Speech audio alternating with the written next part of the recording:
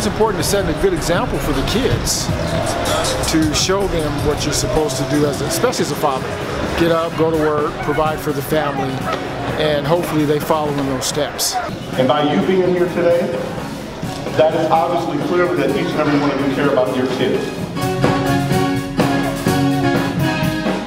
Kind of a call to action, right, for fathers and father figures to come out and do more, be more, be present for their students. You have to change the behavior if you want a different outcome.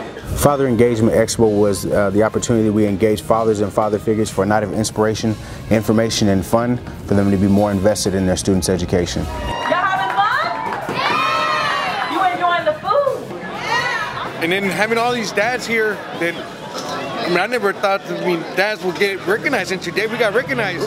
That's just it. I felt recognized. My mind was blown. I've never seen this house this packed. It, it was just amazing. The statistics show that when dads are more engaged, academic outcomes go up, behavior outcomes go up. Go, Dad! 100% all the way.